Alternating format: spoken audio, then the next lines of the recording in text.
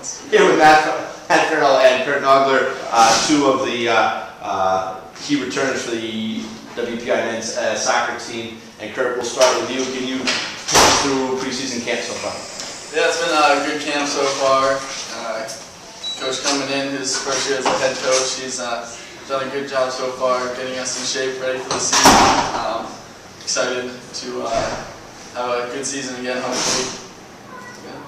Matt, returning NEWMAC Rookie of the Year. Uh, obviously, great freshman year. Um, talk about having expectations this year and what that's going to be like playing with uh, that on your back. Yeah, it was a great honor to receive at the end of the year. Uh, felt nice that my hard work paid off, but now I'm no longer a freshman. Uh, I got ended up being one of the top goal scorers in the league. So defense will be looking out for me. I'm sure they'll be putting two guys on me, which makes my job a lot harder. And I just got to work through it, play harder.